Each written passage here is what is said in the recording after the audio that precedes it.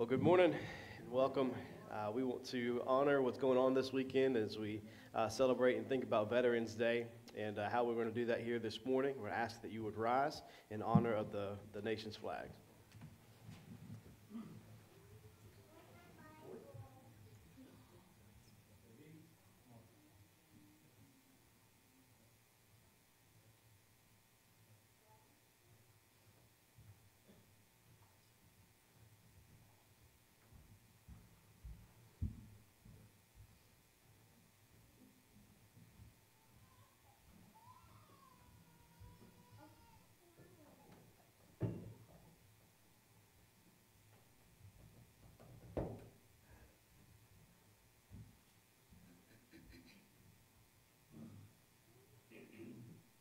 Flag of the United States of America.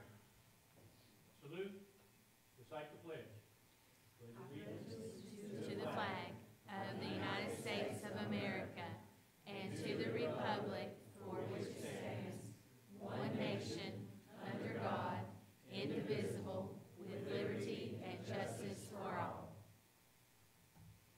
Please face the Christian flag. Salute, recite the pledge. I pledge allegiance to the Christian flag and to the Savior for whose kingdom it stands, one brotherhood, uniting all Christians in service and in love. Please face the Holy Bible. Salute, recite the pledge.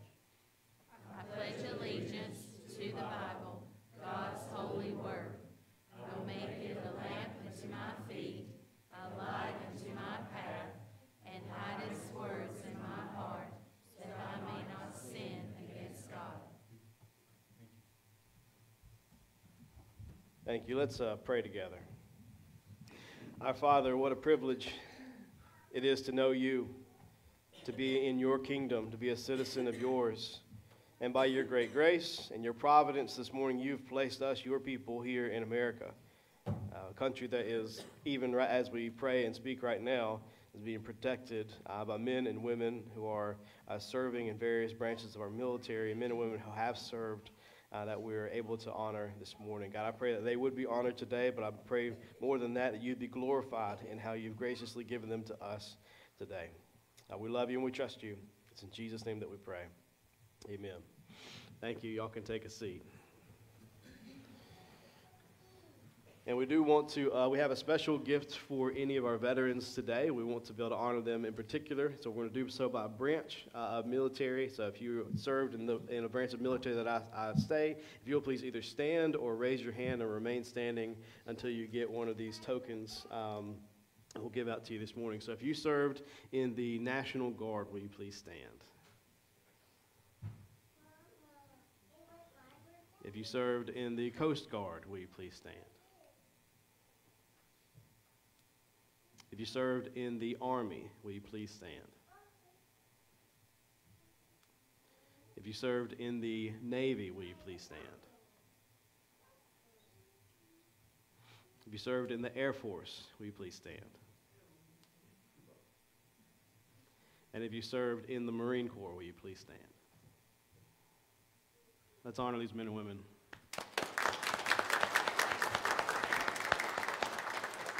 And if I could get the kids to come help pass out these coins to anybody that's standing, okay? We've got one right there, too. If we take that to Mr. Bryan over there. Take it to Mr. Bryan. See.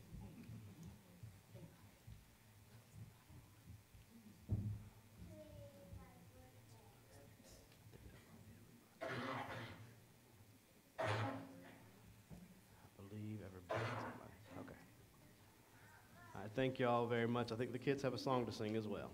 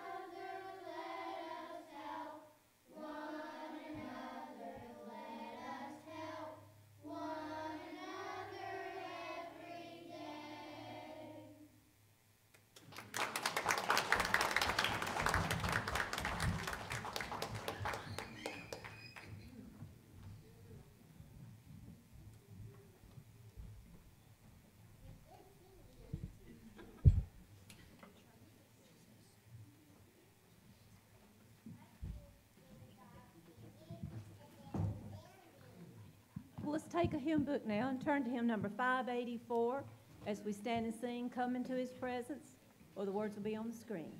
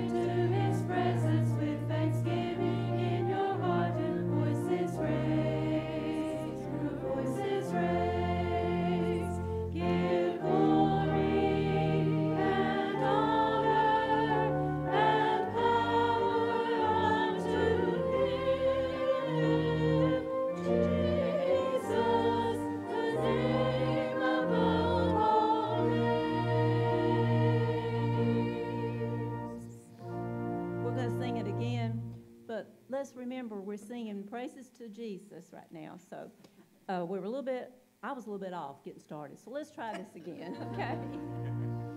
Come into his presence with thanksgiving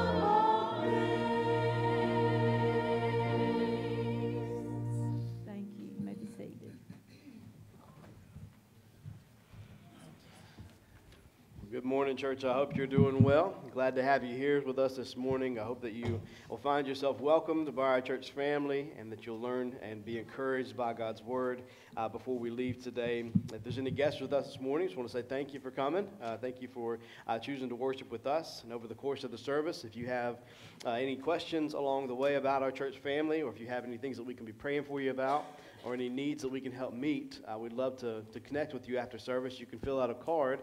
Should be a guest card in the back of a pew near you. You can fill that out and either leave it in your seat when you leave today, or you can put it in the offering plate as it passes by, and we'll connect with you after service. Uh, thank you so much for coming.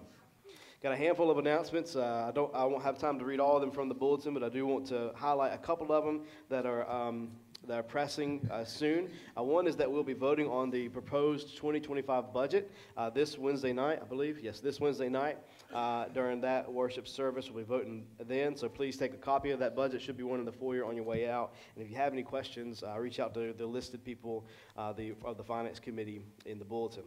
Also, want to remind everybody about the feast and praise service that we have that we have every year. And so, in a couple of weeks, we'll be having our um, feast portion of that at six o'clock that night on Wednesday night. Uh, if you'd like to bring something for that, a side item, or if you'd like to uh, cook, I think we have two turkeys that still need to find someone to cook them. Uh, so, if you would like to, to do that for us, uh, please let us know. And I think there'll be a sign up sheet in the foyer as you leave on the right. That'll happen at 6, and then we'll have a worship service afterwards, which is a time of testimony to tell about how good God is and what He's done in your life. And so it's just a special service for us and our church family. I also want to uh, point everybody's attention to the Joy Closet announcement there. They're doing a, uh Christmas toy drive uh, for uh, our community, and so if you bring in a gift on that on that date, you can get, get a free um, Christmas picture taken, which is a pretty good deal. So if you'd like to update your um, update your family photo, your Christmas photo, please come by that day and uh, donate an item, and you'd be able to to get one of those pictures taken. I also want to let everybody know about the, the ladies' annual Christmas party. will be happening on December 5th at the 6 p.m. So please mark that in your calendar so you can make uh, make plans to come. And then we have plenty of Christmas things going on, but two more things. Uh, one, the the children are working on a Christmas play called The Signs of Christmas, and they're going to perform that play on December 18th, Wednesday night at 7 o'clock for our worship service that night. Uh, so please make plans to come, invite friends and family to come and see what they've got uh, put together for you all.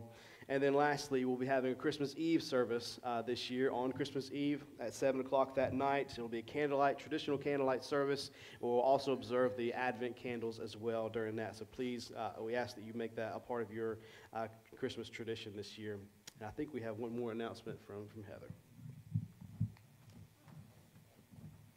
Good morning.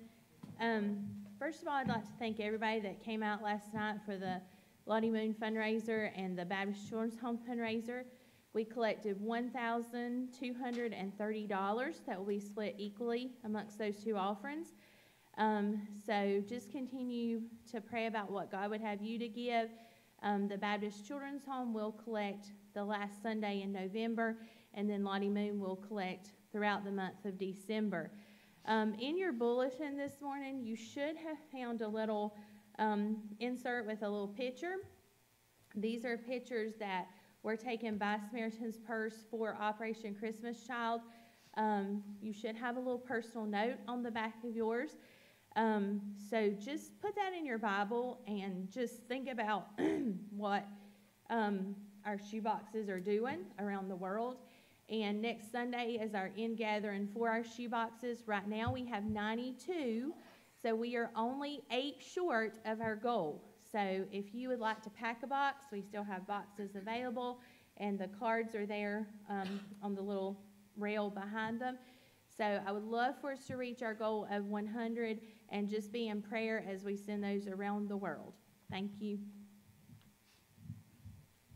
Thank you, Heather. And anybody who would like to go to the um, distribution center in Boone, I'll have taken a trip on the 13th, and there's three spots left. So if you'd like to be one of those three spots, please let Jeffrey uh, or myself or Heather know, and we'll make sure that you get the information that you need.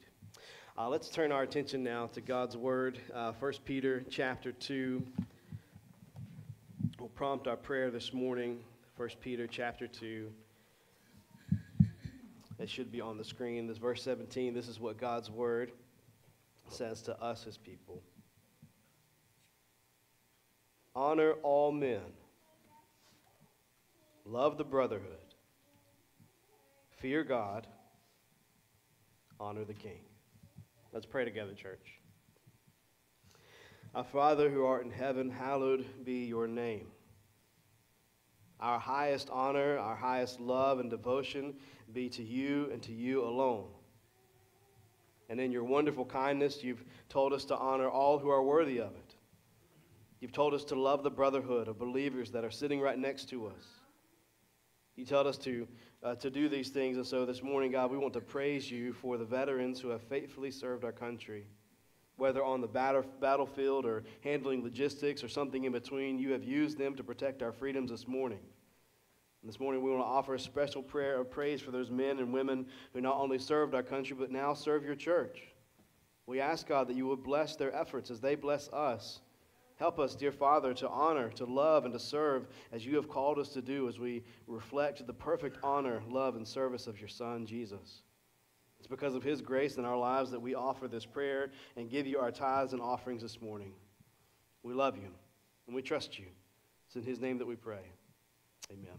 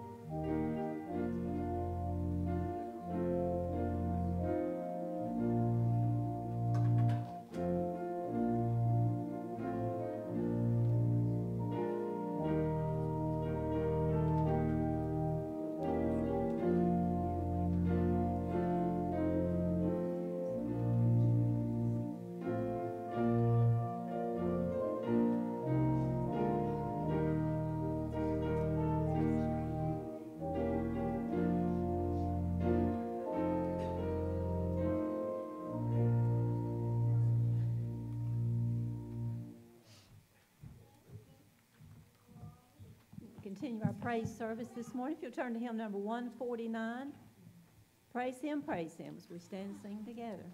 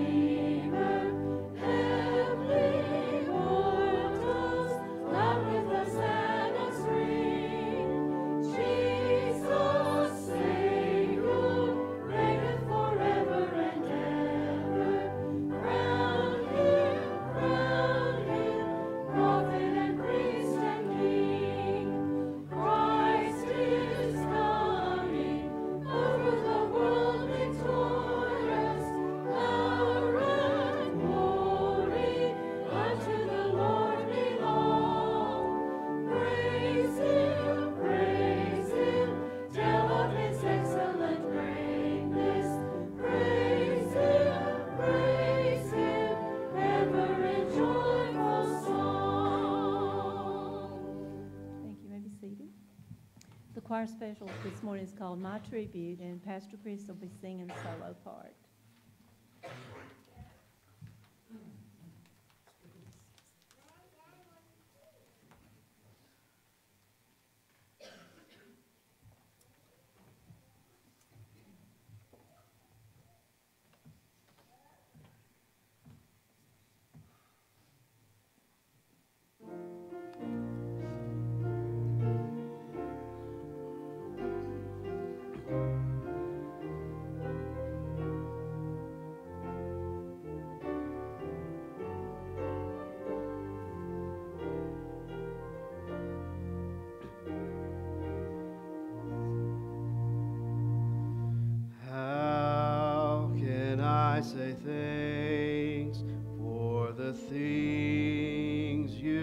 have done for me.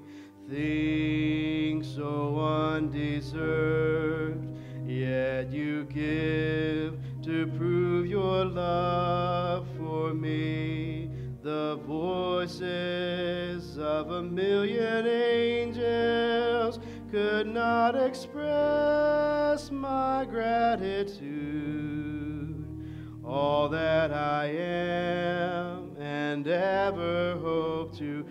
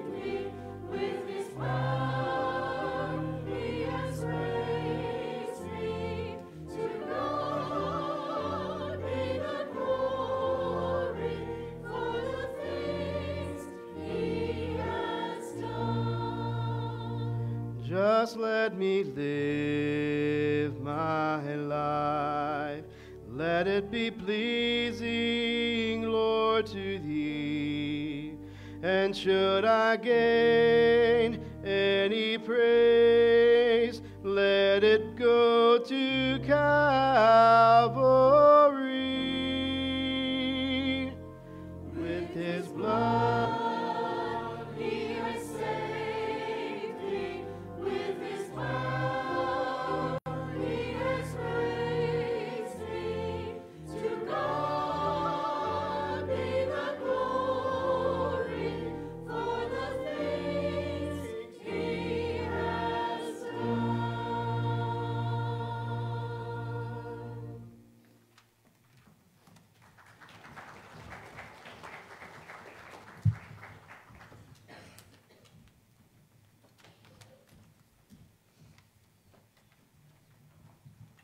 at this time, the kids are dismissed uh, to nursery and to children's church. If you are three years old and younger, you'll go back through this door and to the left to nursery.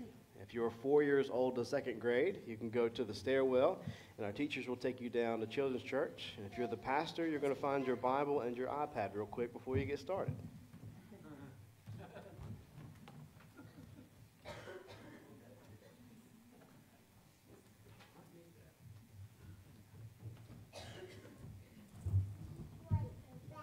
1 Samuel chapter 29 is where we're going to be this morning. We're getting closer to the end of this book. See you, baby. 1 Samuel chapter 29.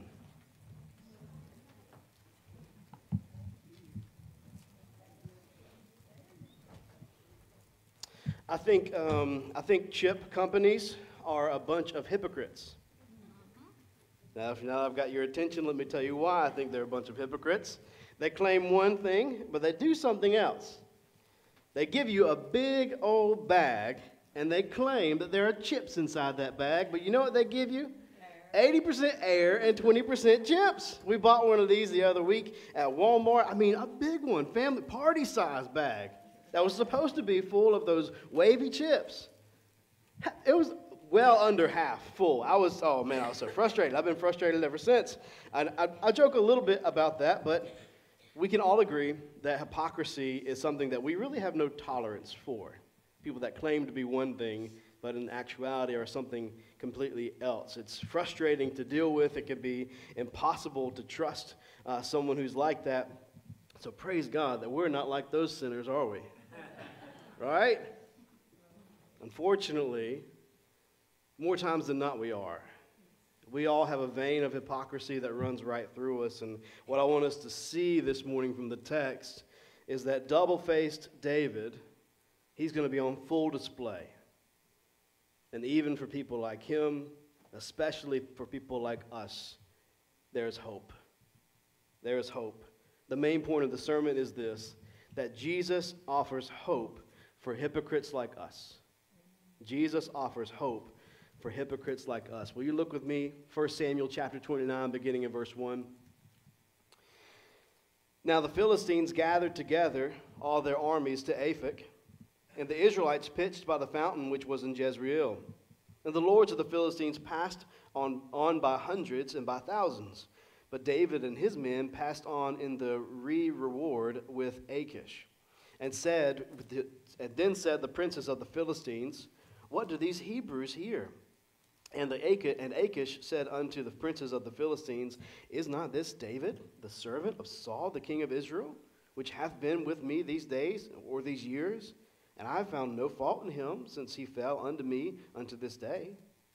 The princes of the Philistines were wroth with him, and the princes of the Philistines said unto him, Make this fellow return, that he may go again to his place which thou hast appointed him, and let him not go down with us to battle, lest in the battle he be an adversary to us. For wherewith should he reconcile himself unto his master? Should it not be with the heads of these men? Is not this David, of whom they sang one to another in dances, saying, Saul slew his thousands and David his ten thousands? Then Achish called David and said unto him, Surely as the Lord liveth, thou hast been upright, and thy going out and thy coming in with me in the host of in, in the host is good in my sight. For I have not found evil in thee since, my, since the day of thy coming unto me unto this day. Nevertheless, the Lord's favor thee not. Wherefore now return and go in peace, that thou displease not the lords of the Philistines. And David said unto Achish, But what have I done, and what hast thou found in thy servant so long as I have been with thee unto this day, that I may not go fight against the enemies of my lord the king? And Achish answered and said to David, I know that thou art good in my sight, as an angel of God. Notwithstanding, the princes of the Philistines have said, He shall not go up with us to the battle. Wherefore now rise up early in the morning with thy master's servants that are come with me. And as soon as ye be up early in the morning and have light, depart. So David and his men rose up early to depart in the morning to return to the land of the Philistines. And the Philistines went up to Jezreel. Let's pray together, church. Oh, Father, would you help us this morning? to be encouraged, to be challenged, to be sanctified and strengthened by your Holy Spirit through the, the presence of your word. We love you we trust you. It's in Jesus' name that we pray. Amen. There are 2,326 people who live in Jonesville, North Carolina. That's according to Google. I'm assuming it's relatively right. If Jonesville is a typical reflection of North Carolina, that means that 77% of the people that live here would call themselves Christian.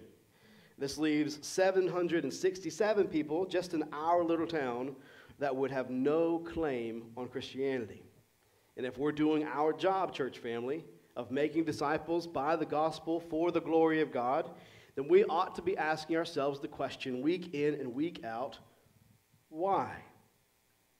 Why have those who have rejected Jesus and gone away from his church or have no interest in him at all, why? Why are they far from him?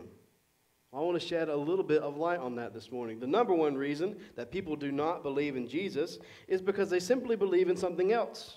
Whether that is atheism, Judaism, Buddhism, they follow some other belief system. So, our response as the local church to them is simply to preach Jesus. Tell them to trust the Holy, tell them about what Christ has done and trust the Holy Spirit to do what he does. That's not what I want to talk about this morning. I want to talk about reason number two. The second reason, most common reason, that people, particularly in North Carolina and in this area, do not trust Jesus is because they've been hurt by the church.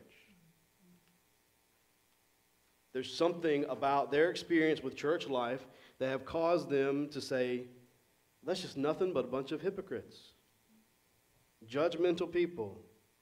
They have a, a, disillusionment towards organized religion. According to them, the church is hypocritical. You see, if you were to ask the average non Christian in our area why they don't believe in Jesus, not far into that conversation, that's the answer that you're going to get. If you ask the average person who claims to be a Christian but refuses to go to church, that's their answer too. Oftentimes, they're going to say that the church is hypocritical, two faced, judgmental. So we've got to ask ourselves the question are they right?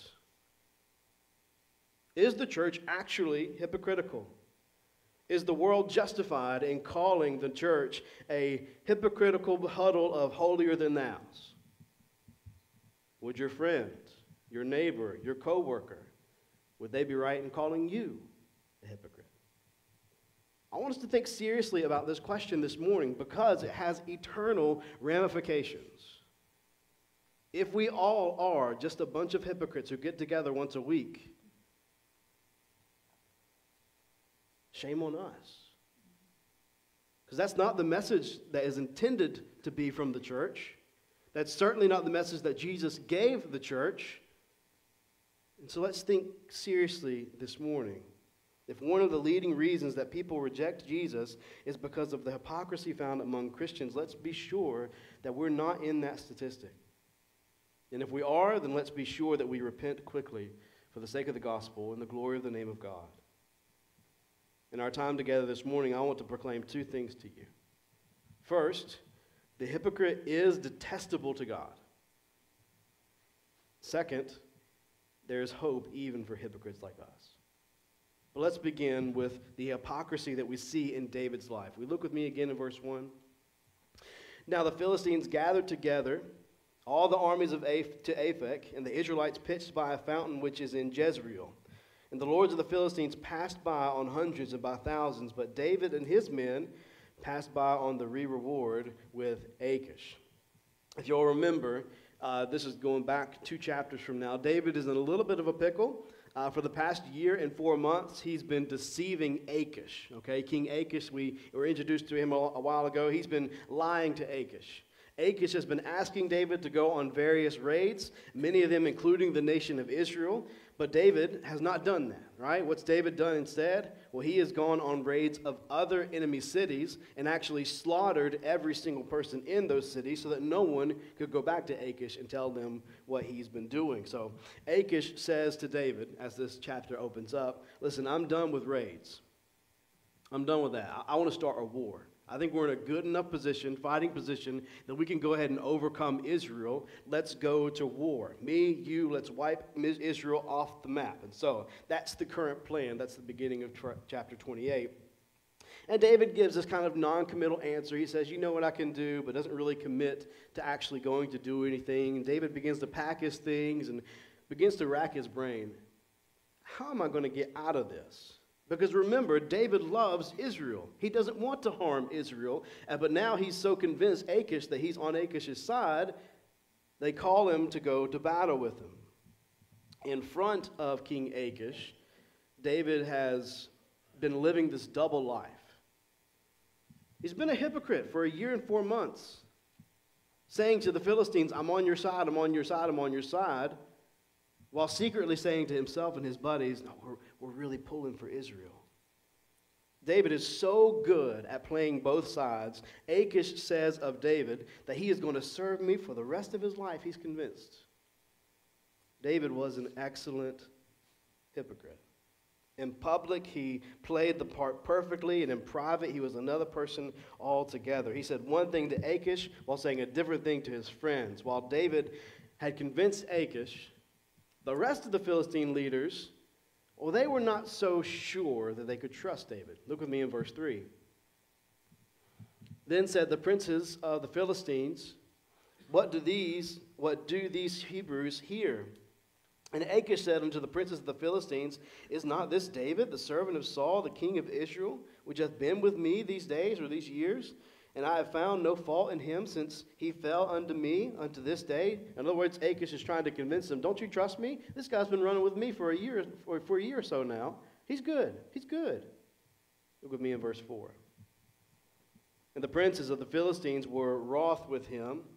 And the princes of the Philistines said unto him, Make this fellow return, that he may go again to his place which thou hast appointed him. Let him not go down to battle with us.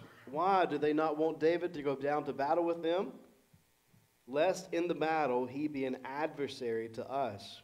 For wherewith should he reconcile himself unto his master? Should it not be with the heads of these men? Is not this David of whom they sang, one to another in dances, saying Saul slew his thousands, and David his ten thousands? What if he turns on us?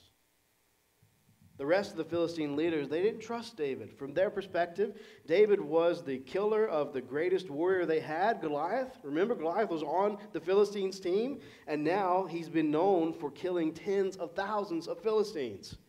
They see David as an unnecessary risk in this war. What if he flips back to the other side when we start fighting? What if he comes against us? Achish, don't be a fool, send him away. Be done with this guy.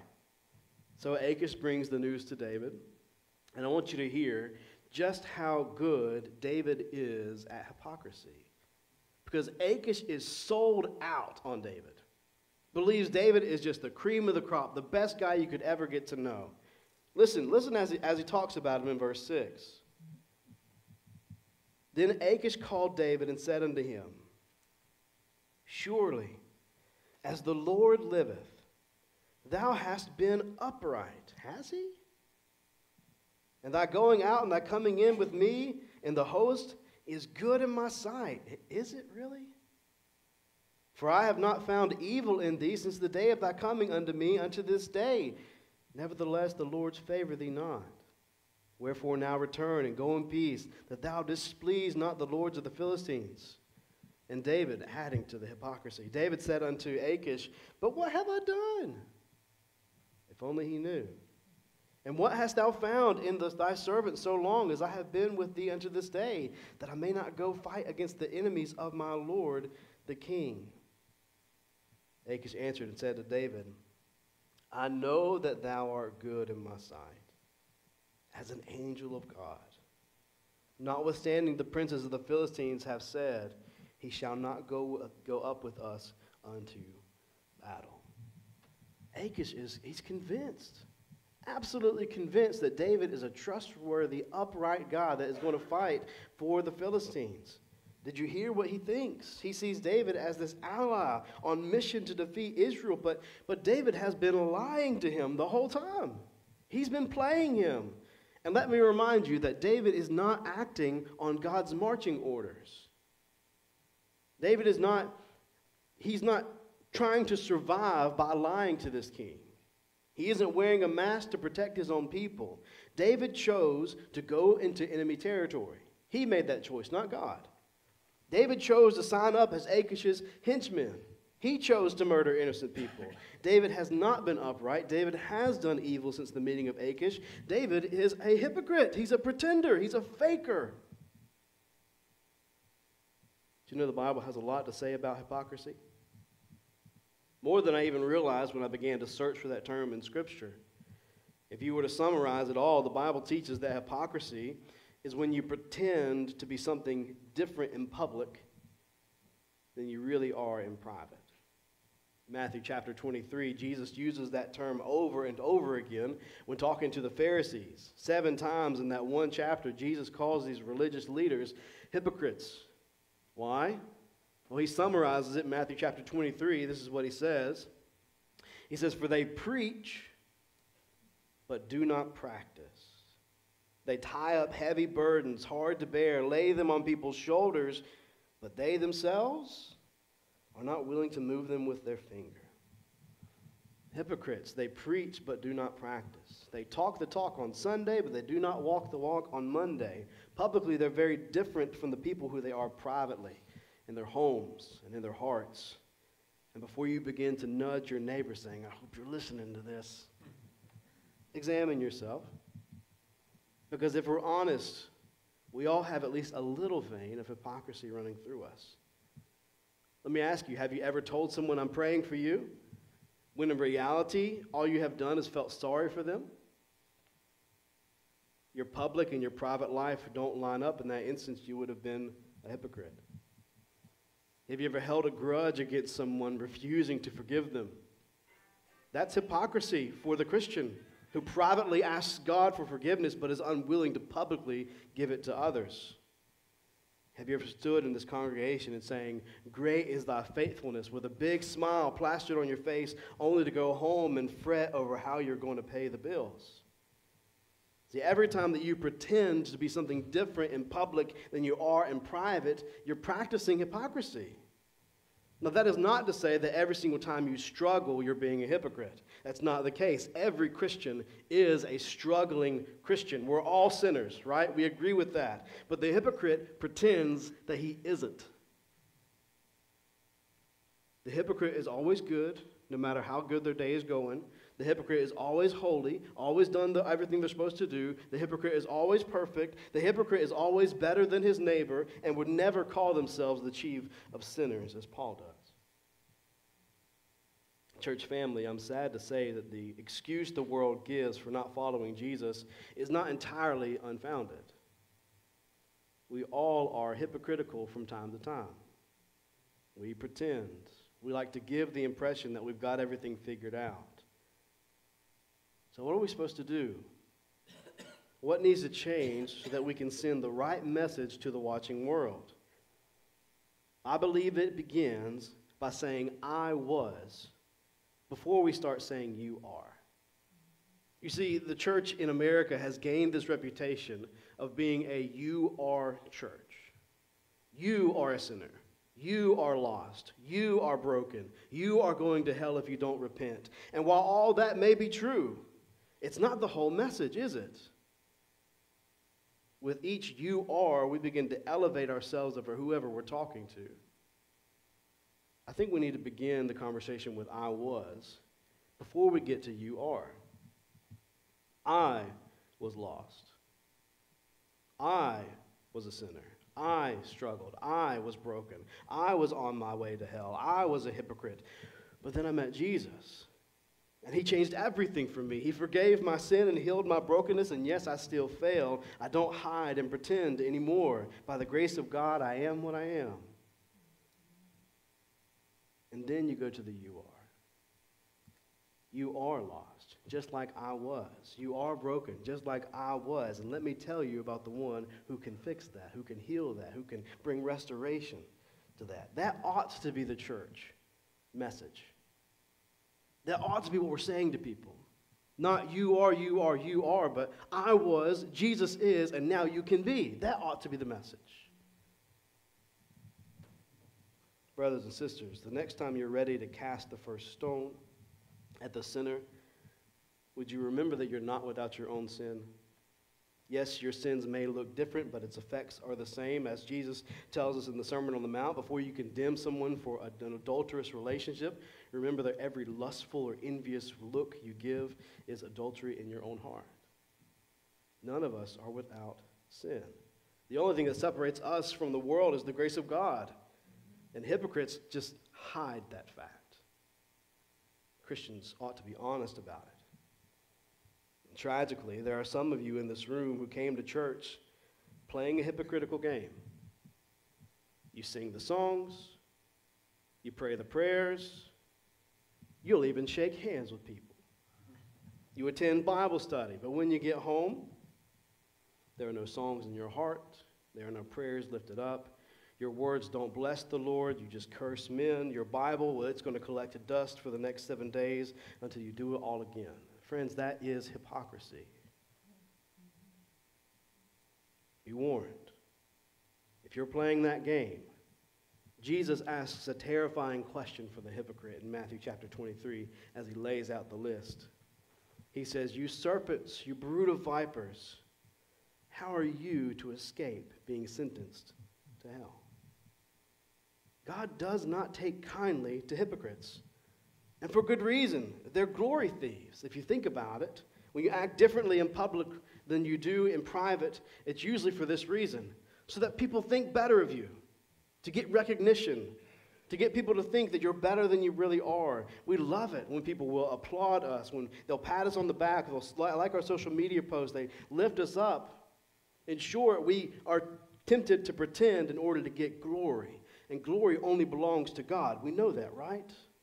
God will not share his glory with another. We know that, right? So, to quote the warning of Job, chapter 27, verse 10 For what is the help of the hypocrite that he hath gained when God taketh away his soul? Yes, it is true. You can get away with hypocrisy for a long time. And you even stand to gain a few things along the way. David gets away with it. Did you notice that in this whole story? David plays the part of the hypocrite so well, and he still gets away with it. Look with me in verse 10. Wherefore, now rise up early in the morning with thy master's servants that are come to thee. And as soon as ye be up early in the morning and have light, and depart. So David and his men rose up early to depart in the morning and return. Where does David go? Back to the land of the Philistines.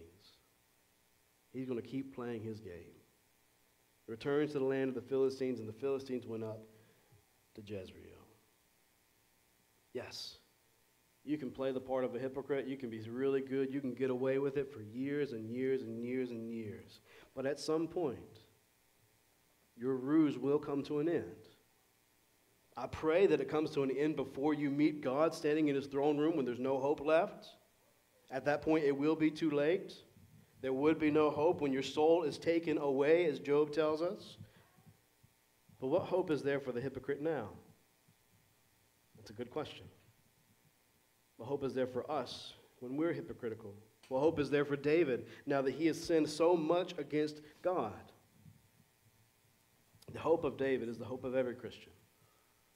Jesus offers hope for hypocrites like us. You see, Jesus has a long track record of forgiving hypocritical actions.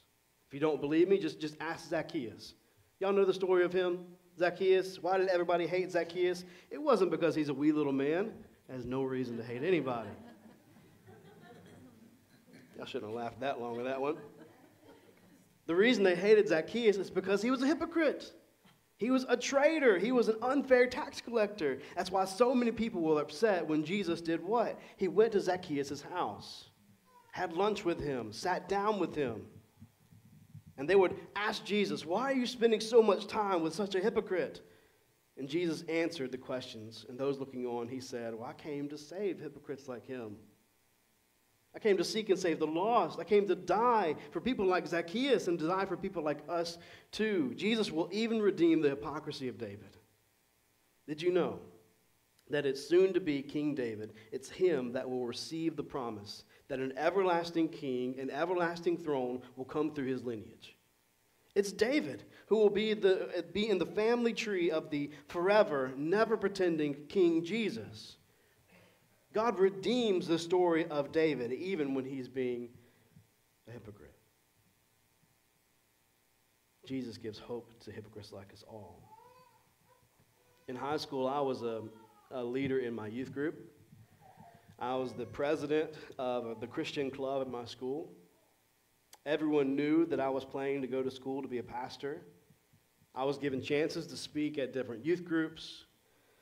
I was really good at being good, except for one small hidden detail about my life. Throughout all my years of high school, I was living in unrepentant sin. Publicly, I was what I was applauded for my holiness, but privately, I was a hypocrite. That is, until one Sunday morning, I was stopped on the way to Sunday school, and I was asked to go to my youth pastor's office. I thought maybe I was getting an, an award or something. In that meeting, my hypocrisy was found out. And I heard the devastating words from my youth pastor that I, I don't think I can recommend you go to seminary at this point. If this is all true, my private life had come to light. And honestly, I deserved every bit of punishment that was coming my way. It's through this experience that I learned that Jesus offers hope even to hypocrites like me. Because I was given a chance to confess my sin to my youth pastor, the ones that I had sinned against, and hardest of them all, I was given a chance to confess my sin to my mom. You see, that morning, I was supposed to be going to Sunday school, ended up in the youth pastor's office, and I didn't feel much like going to church the rest of that day. So I went home, and I uh, walked in, and my mom was there getting ready for church. She sang in the choir. She was getting everything ready, and I just, I just broke down on her. And she asked what was wrong. I said, I messed up. That's all I could get out. I messed up. And what I should have gotten is when I, was not what I received. I should have been punished. I should have been cast out. I should have been talked down to. I should have been judged. I should have been condemned. But mom, mom just wrapped me up in her arms and said, it's, it'll be okay. She still loved me. It'll be okay. Church family, if you are living in a hidden, hypocritical life, and you've been getting away with it for years and years and years, and you don't know what's going to happen if you actually were to confess your sin, let me tell you, Jesus offers hope to you today. You can come to him. You can confess your sins, and he will say to you, not get out, but it's okay. I love you. I still love you. Brothers and sisters, Jesus died for every hypocritical thought, every word, every deed that you will ever do. Jesus shared the Last Supper with a table full of hypocrites and even offered forgiveness to each and every one of them. So, you come to him today and find forgiveness?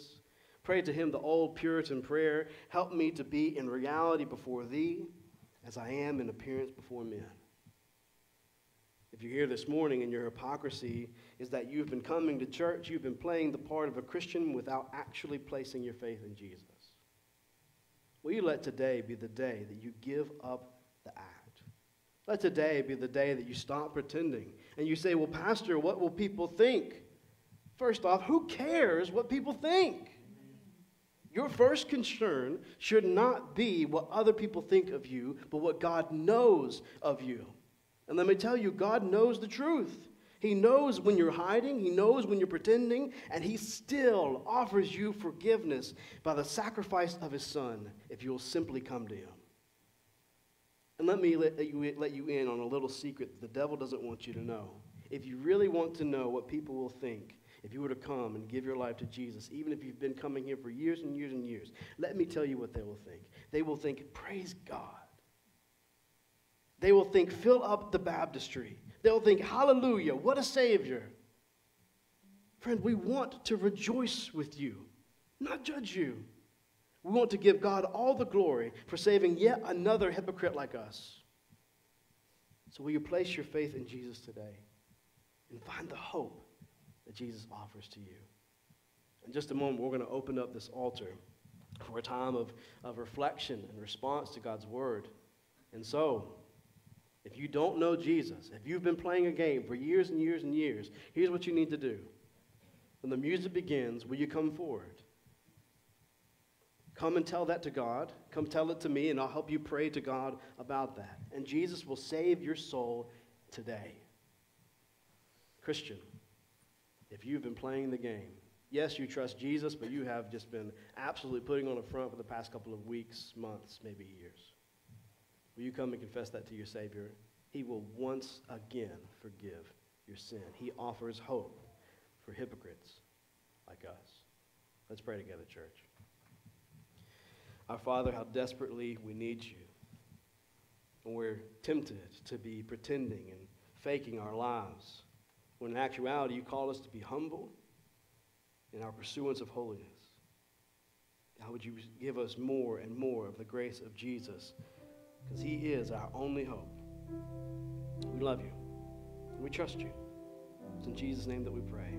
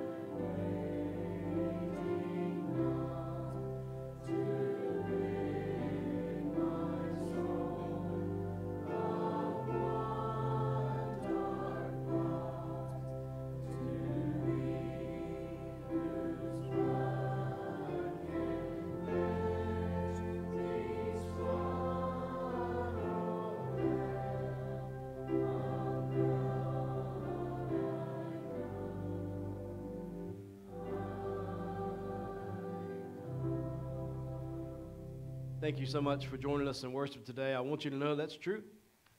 Just as you are. No more games, no more hiding. Just as you are, Christ will take you and save your soul. And you don't have to do it right here in a church building. Talk to any Christian. They would love to tell you about how to follow Jesus. If you will please remain standing, we're going to take a moment to retire the colors.